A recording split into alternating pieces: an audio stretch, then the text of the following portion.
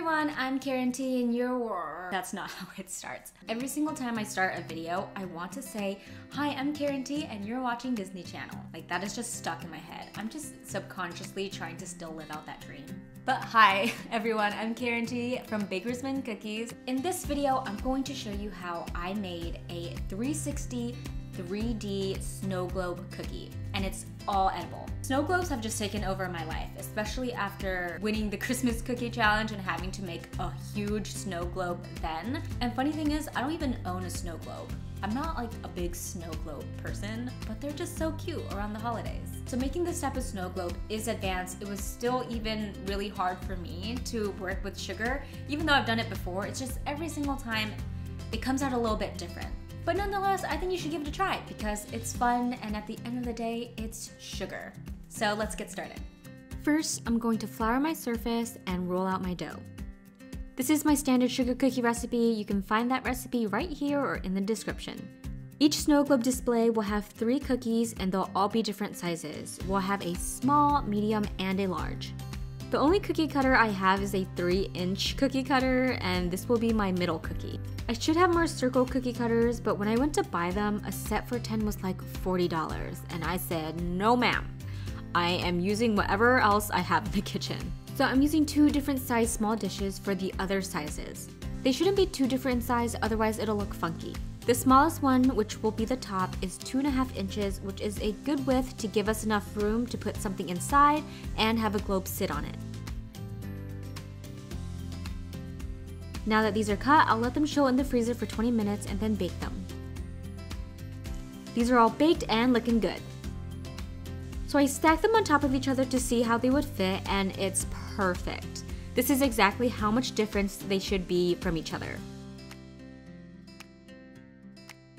Next, I'm prepping them to get bathed in royal icing. So using the same dishes from earlier, I'm going to place the stack of cookies onto them and you'll see why in a sec. But first, we have to glue these cookies together. I'm using some royal icing to do that and making sure I can get them as centered as possible. They might slip around if the royal icing is too loose, but that's okay.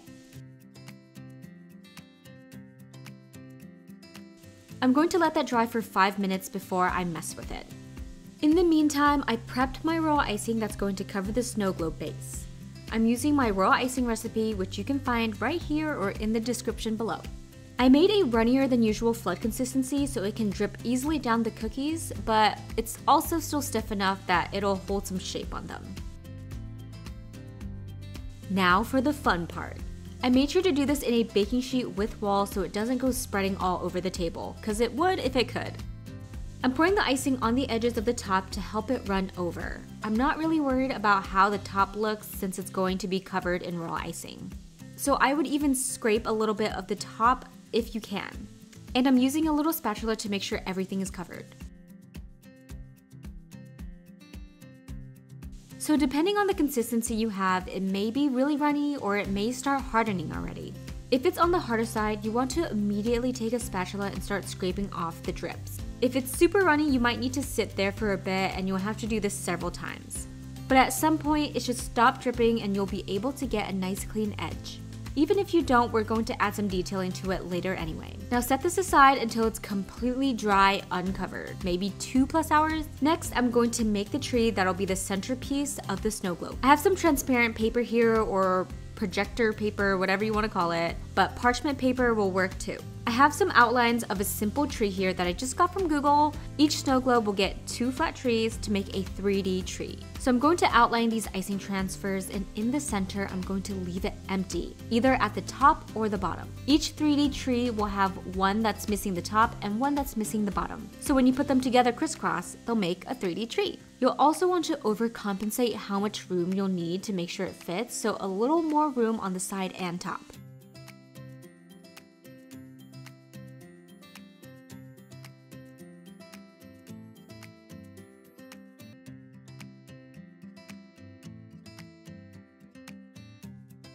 Then I'll set these aside to dry. Now we're going to work on the sugar dome, which is the difficult part. To create them, we're going to use the water balloon method. This requires some high quality balloons and I'm going to fill it with water. The balloons I have are 9 inch latex balloons. I think the standard is about 12 inches and the smallest you can get is 5 inches. But this 9 inch one worked really well for me and it'll give me the shape that I want. You may want to test one first to check to see if it'll fit on top of the vase. So I'm putting the opening of the balloon on the faucet and filling it up slowly. So once I get to a point where I think it's good, I'll take it off, then tie it.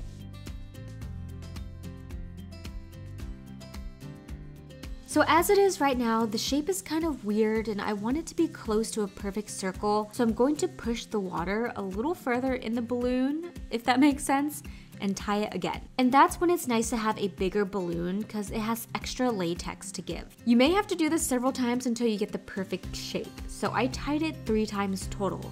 And now I have the perfect round balloon. You'll need a balloon for each globe you're going to make. Now I'm going to set this right next to the sugar pot with some shot glasses ready to go. So in this pot, I have 300 grams of sugar, 200 grams of corn syrup, and 75 milliliters of water. I would say this would make 12 globes, so if you're making less, I would cut it in half. And it's always nice to make a few extras. I'm going to put it on high and let it boil until it reaches 290 degrees Fahrenheit. Once it's there, I'll turn off the heat and let it sit until it stops bubbling. Now I'm grabbing one of the balloons by the knot and I'm going to dip it in on all the sides. I'm dipping it all the way up until maybe an inch away from the knot. Once everything is covered, I'm going to lift it up and let it drip, drip, drip until it stops. There may be a little tail left and once it's cool enough, you can just push it into the globe like a little button. I'm hanging it in the air until I know it's completely cool and then setting it on the shot glass to finish my others.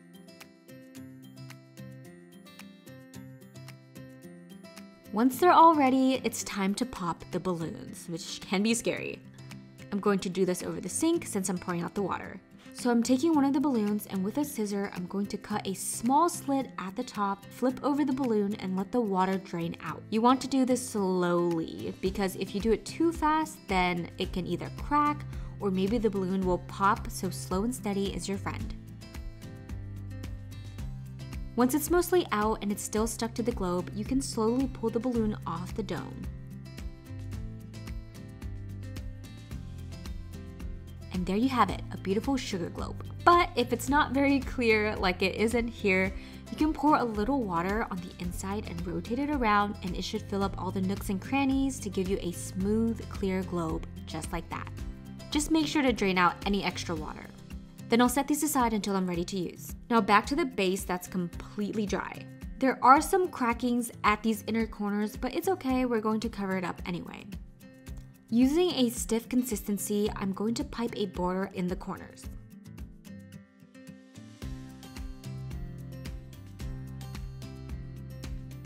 And now it looks fancy schmancy. Now I want to make a snow effect on top, so I'm using a stiff slash high braid consistency with a big opening to cover the top in snow. And then I'll make little droplings on the side to make it look like little cute snow mounds, if you will.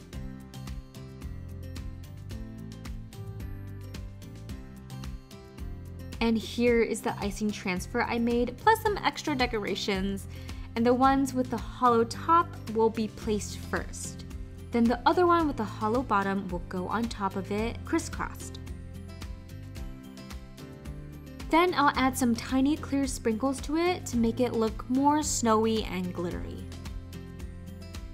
To make sure they stay together and also to make it more consistent with the snow globe theme, I'm going to add some stiff white consistency to the top to make it look like snow.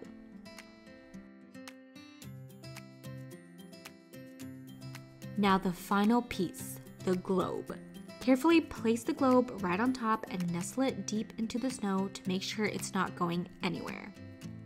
And there we have it. You guys, how freaking cute is that? I honestly can't believe I made this. Like, I think this came from someone else. I think I just bought this from somebody. I am just so amazed at how clear this globe came out, and it did because of that trick of adding water into it. And I love how the globe itself is just really round. And I was able to achieve that because I dipped the balloon instead of dripping sugar on top of the balloon. And so you almost get a full sphere.